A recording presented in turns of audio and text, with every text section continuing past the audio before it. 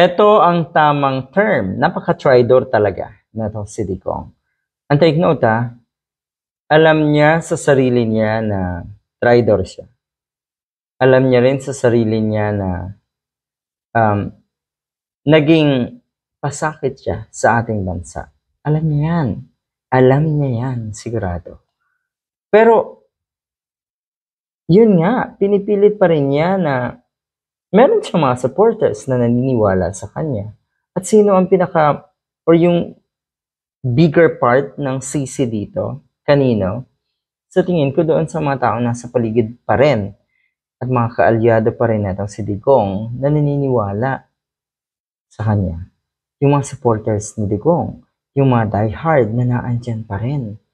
At kahit paano patuloy na nagpapauto, yun po ang isa sa pinakamasaklap na nangyari. Madalas ko itong sabihin na kung hindi ka talaga hindi ka talaga magpapaloko sa isang tao, yung mga manloloko, titigil naman yan eh. Kasi choice na ngayon kung ikaw ay magpapaloko or maninindigan sa sarili mong prinsipyo. Kung ikaw ay magpapabudol, malaking usapin yan dahil nga si Harry Roque Kuno ay umamin na rin na budol. Ulitin ko, choice nyo yan. At kung piliin nyo na kayo ay mabudol, kawawa talaga kayo. Sana sa mga susunod na pagkakataon, kumonte na. Wala na sa, sa mga kababayan natin ang pipiliin na magpabudol pa. Gising, maging mapanuri, maging mapagmatsyag, makinig, at alamin kung sino yung totoong may malasakit at pagmamahal sa ating bansa. Background check, di ba?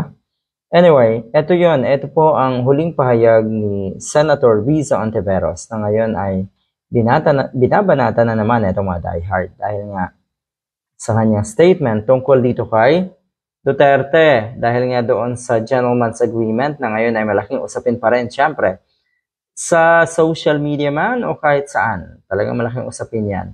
Napaka-tridor talaga. Senate Deputy Minority Leader Riza Ontiveros accuses former President Rodrigo Duterte of being a traitor when he entered into a, a gentleman's agreement with Chinese President Xi Jinping.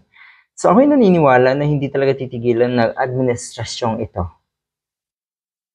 At dapat lang na magpaliwanag, make it clear kung ano ang gentleman's agreement na yan. Pero yun nga, kahit saan mo tignan, iisipin mo talaga na na sekreto nga yung agreement at talagang merong pakinabang personal na interest itong si Digong. Ang sinasabi niya, ayaw lang daw niya ng gera. Okay, ayaw mo pala ng gera, pero umamin ka na ganito ka. Naglunsad ka ng peking war on drugs. O di ba? Mas masaklap, mas matindi pa yan sa gera dahil ang mga namamatay din dyan ay mga inosenteng kababayan natin. Mas matindi pa po sa gera.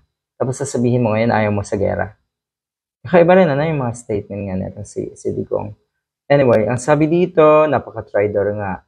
At kasi kung totoo, yung kasunduan, eh mukhang isinuko na nga na si Digong ang teritoryo ng ating bansa. At yun nga, sabi ng mga kababayan natin, sabi ng mga nag-iisip ng tama ng mga Filipinos, walang hiya ka, ano? Anong karapatan mo? Karapatan mo. Anong karapatan mo na isuko ang ating bansa. Tapos ngayon, ikaw yung magpapabango. Marami kang justification kung kung ano yung mga ginawa mo sa issue nga na ito. Huwag mo na pong i-justify ang sarili niyo.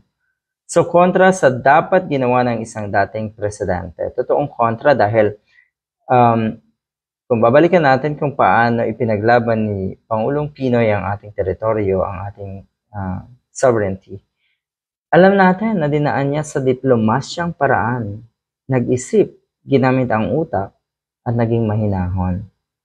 Pero ano, totoong nakipaglaban. Totoong ipinaglaban at pinagtanggol ang ating bansa at ang ating teritoryo. Pero ang katulad ni Digong na oo lang ng oo, tango lang ng tango sa China, ano sa tingin mo? Pag ang taong oo lang ng oo at tango lang ng tango, ang ibig sabihin yan, you submitted yourself nagpauto ka rin. Naging under the saya ka. Naging sunod-sunuran ka. O, ah, diba? Na napakaliwanag na traidor ka ng ating bayan. Tapos gusto pa na itong mga diehard na i-look-look uli ang isang Duterte na sigurado tayong hindi lang magiging traidor, kundi ipapahamak pa sigurado ang ating bansa. Sabi nga na Senator Trillanes, it's going to be a nightmare kung sakaling mag-decision nga na tumakbo itong si Sara Duterte at maupo or at makuha uli ang uh, pwesto ng isang Duterte. Talaga pong nightmare. Sa mga kababayan natin, mag-isip po tayo. Good luck.